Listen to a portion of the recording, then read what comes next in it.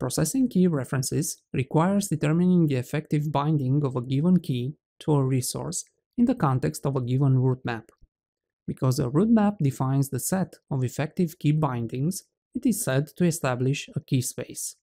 Oxygen builds the key space to correctly reflect the DITA rules for key definition starting from a root map.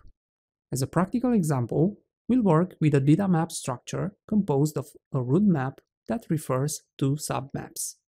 Both flowers map and the flowers by family submap define different keys.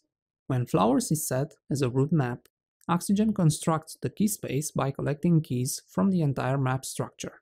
Because documentation projects can produce huge DITA map structures with a DITA map that refers many other submaps, you might want to focus on a specific submap at a time. To highlight the benefits of setting a root map, we'll begin our demonstration trying to work with the flowers by season as an independent map. As you can see, the DITA Maps Manager view marks the two referred submaps with these icons. We'll open the first submap, which is flowers by season. Immediately we spot an error in the map complaining that the definition of a key is not found. Furthermore, if we open one of the topics, for example the chrysanthemum, and try to validate it, Oxygen reports that the definition of two of the keys used in the topic are not found. The first warning reports that the link that uses a key references cannot be resolved because the key definition is not found. The second warning has the same cause, but this time we have a broken content key reference. Also, if we want to insert a key ref, we can see that Oxygen does not find any key definition. See that the key references table is empty. The problem is that the map is isolated from the rest of the map's structure. Note that the root map selector is set to current map and Oxygen considers that the root map is flowers by season. You can set the root map from the DITA Maps Manager view or by clicking one of the key reference errors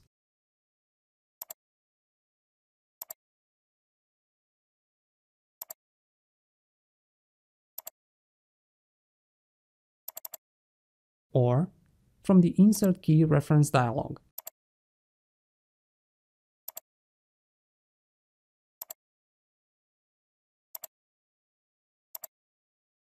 You can see that now Oxygen collects the key definitions from the entire map structure.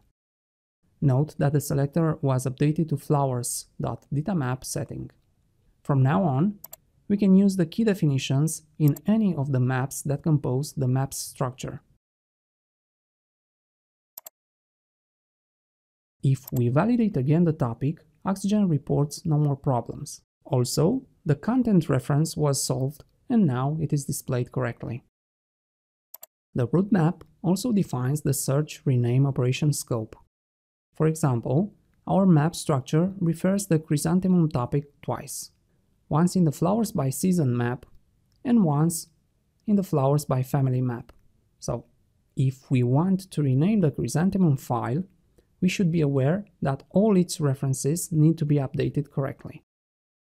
To see how it works, we'll switch the root map back to current map meaning that Oxygen will consider flowers by season to be the root map, thus decoupling it from the map's structure.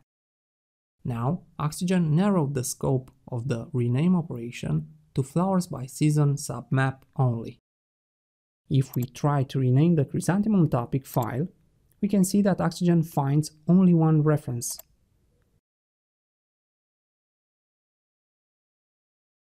But if we set the root map to flowers.ditamap, the scope of the rename operation will be the entire map structure.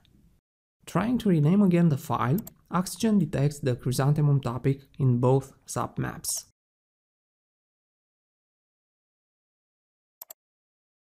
And this concludes our demonstration. Thanks for watching.